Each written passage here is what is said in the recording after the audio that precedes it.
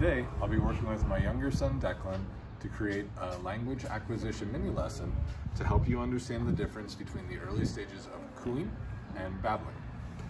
Declan, let's practice our sounds. First, let's make ah, ah, ah, ah. Next, let's make ma, ma, ma, ma.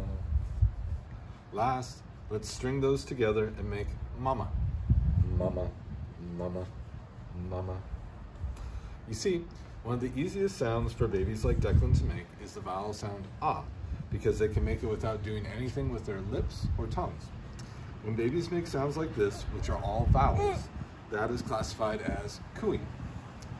Another easy sound for babies to make is to add the consonant sound mm to that ah by closing their lips to break up the airstream.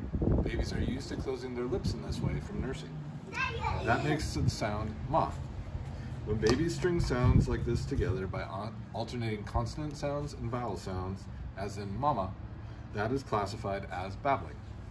Babies tend to make the transition from cooing to babbling between four months and six months, which is Declan's current age range.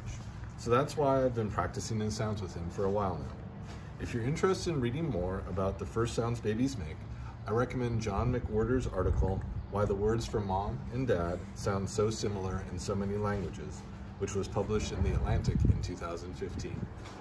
Thanks, Declan.